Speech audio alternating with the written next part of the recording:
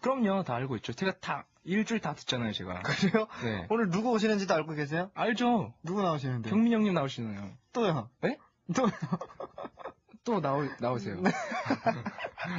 자, 동현 씨. 네. 오늘 두 시간 잘 부탁드리고요. 네, 알겠습니다. 네, 슈키라의 그 화요일은 네. 여러분과 무- 콩 문자로 수다를 떠는 시간입니다. 네네. 잠시 후에 알려드리는 주제 잘 듣고 문자 콩으로 많이 많이 참여해주세요. 문자 번호 어떻게 되나요? 네, 문자는 샵 8910으로 보내시면 되고요. 요금은 한 통에 50원입니다. 네, 광고 먼저 듣고 건수 있는 화요일에 새 건수남 홍경민 씨 그리고 보드카레인의 안승준 씨, 주윤아 씨 만나겠습니다. 광고! 진혁 학생 여기 행렬 문제 좀 가르쳐 주세요. 네? 아, 네. 진혁 학생 로그 방정식도. 네? 진혁 학생 등차 시열도 극한도.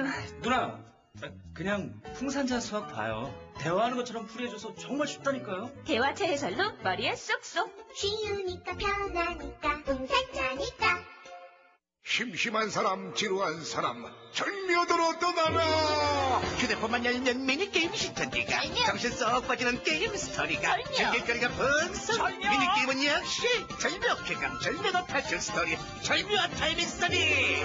휴대폰에서 오오오 누르고 무선 인터넷키 요즘 취업 성공으로 인기 있는 커리어 집중 취재했습니다. 무료로 이력서 컨설팅을 받았어요. 대기업 합격 가능성을 진단해 줍니다. 동영상으로 다양한 채용 정보를 제공해줘요. 커리어에 가면 취업 희망이 보입니다. 취업이 보이는 특종 여기는 커리어였습니다. 프리미엄 취업 포털, 커리어. 아저씨 누쌍바 있어요? 지금 네가 찾는 누쌍바가 어부바는 아니겠지 아, 나 누가 봐 쌍쌍바 박엄마 줄여서 누쌍바 요 누쌍바를 모른다는 게 말이나 되는 소리. 한 입에 훅 하는 맛. 혜태 누가 봐 쌍쌍바 밥한다. 어, 새로 보셨나봐? 89.1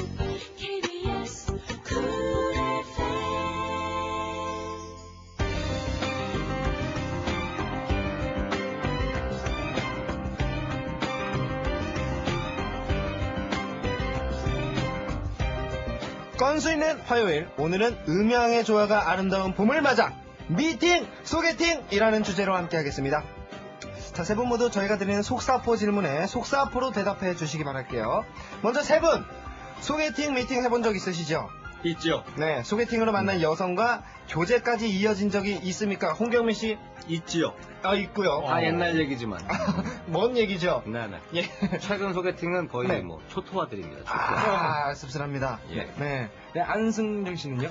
저는 소개팅을 해본 적이 없네요. 아. 한 번도 없어요. 안 전에도요? 예, 아무도 저한테 네. 여자를 아, 근데 저도. 그래요. 어, 네. 그렇죠. 저도 한 번도 해본 적이 없어요. 예. 제가 알아서 다 했습니다. 어. 주인아 씨는 혹시 저는 무조건 사깁니다. 아, 만나는 네. 만나는 날 1일이고요. 네. 예, 만나는 날이 바로 그 사귀는 날이고요. 그렇습니다. 적극적이네요. 괜찮네요. 자 그렇다면 아는 사람 부탁으로 억지로 소개팅에 나갔는데 이 뭐 상대방이 내 타입도 아니고 너무 아닐 때 네. 이럴 경우에는 어떻게 하나요? 예의상 베풀어 줄 수 있는 친절은 어디까지인가요? 홍경민 씨. 그날 하루 귀가까지는 책임질 수 있습니다. 야, 어, 매너남이네요. 그래도. 오. 어, 주인아 씨는요? 밥까지는 사줘야죠. 아, 밥 한 끼. 그렇습니다. 안승준 씨는요? 술까지는 네, 술까지. 할수 있습니다. 야, 네. 조금 조금 보태네요.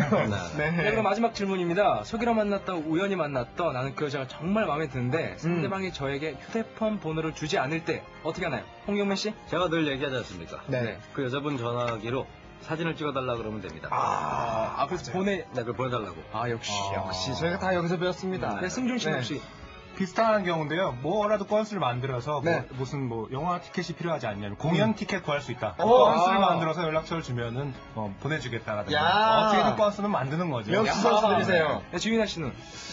그 일단 관심이 없는 척 하면서 오히려 그쪽이 더 네. 음, 애타게 만드는 게 더 좋지 않을까 싶습니다. 항상 본인이 어, 애타시잖아요, 아. 결국입니다. 그거 실패 확률 좀 높은데요.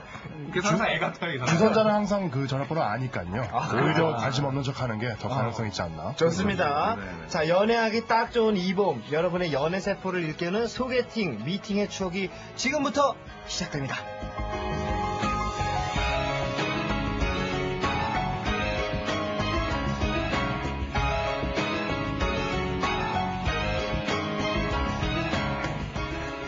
건수 있는 화요일을 빛내주시는 세 분입니다. 아, 먼저 이분, 소녀시대 같은 걸그룹에 대한 관심은 이제 그만 거두시고, 빨리 형수님 감을 좀 만나셨으면 좋겠네요. 저희 누나가 저 멀리 유- 중국으로 유학을 갔으니까 하는 아하. 말인데요. 진심으로 또 매형 삼고 싶은 남자입니다. 멀리 계시니까. 네. 홍가수 홍경민 씨 어서 오세요. 반갑습니다. 누나가 있다는 얘기를 처음 듣는데요. 아 그래요? 어 스물일곱 살입니다. 어, 적당한데. 예. 일부러 감춘 건가요? 어, 그렇지 않았는데요. 눈빛이 상당히 어, 그윽해지시네요. 제가 이렇게 쭉 봤습니다. 음. 홍경민 씨 이렇게 쭉 봤는데 아 요 타이밍에 좀 말씀드리면 되겠다 싶어서 오늘 말씀드리는 그래요. 네. 유학에서 언제 돌아오지요? 6개월 뒤에 돌아옵니다. 얼마 안 남았는데. 시간을 미쳤네요.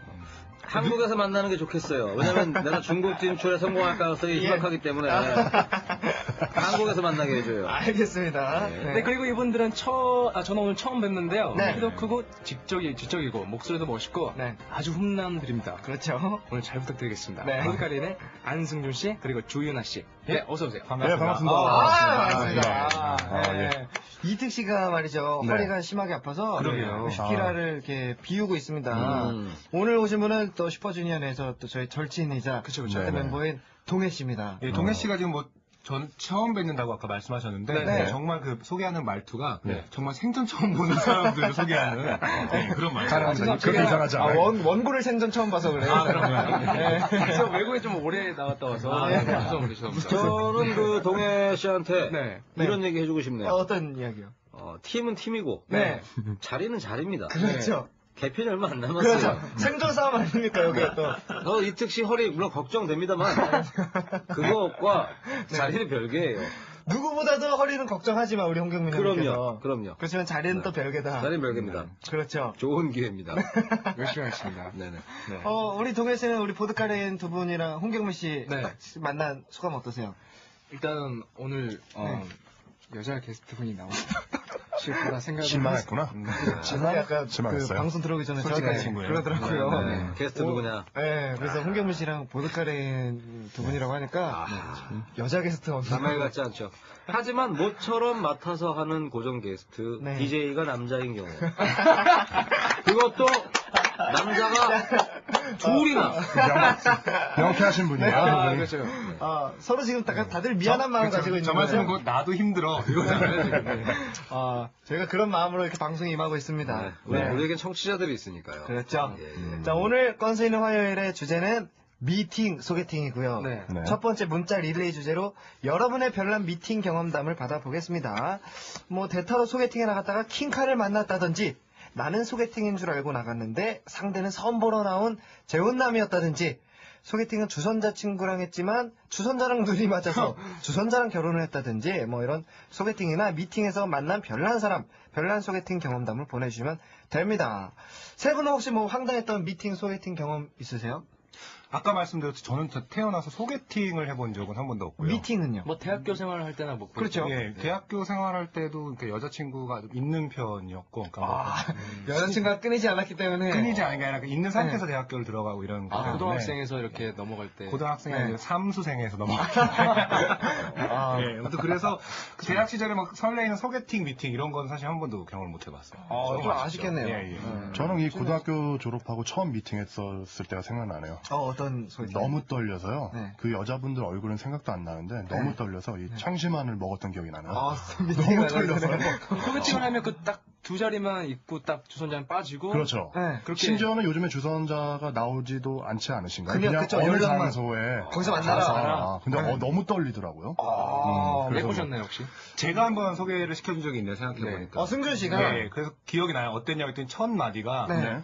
무슨 시를 좋아해? 무슨 정말, 정말 당황스러웠어요. 무슨 시요? 시, 시. 시요? 시, 시. 아, 시요. 시. 아, 그 강남역 그 길거리에서 처음 만났는데 네. 보통 이 처음으로 질문하기에는 뭐 그런 데다 질문은 좀 적절치 않지 네, 않습니까? 그쵸, 그쵸. 네. 통성명하기 전에 너는, 무슨 예, 시를 좋아해요? 너는 무슨 시를 좋아하니? 난, 난 광역시를 좋아한다. 아, 인천 광역시를 그렇고. 대전이라든가 뭐 네. 예, 광주라든가 광역시 좋아한다. 그런 코드가 안 맞는 거죠, 이제. 예, 예. 그렇죠. 예. 아, 상당히 예. 당황했던 적이 있었습니다. 홍경훈 씨는 뭐 황당했던 경험 있으세요? 어, 5대5 미팅에서 여자분들이 잠깐만 나갔다 올게요 이러고 아예 그냥 간 적이 있고요. 다섯 명의 다섯 명. 가요. 예, 예. 어, 그걸 어떻게 하셨어요?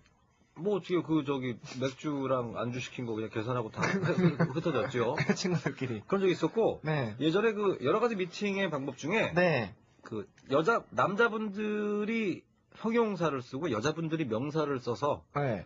주선자가 말이 되는 것끼리 연결시키는 미팅이 있었어요. 오, 그 뭐,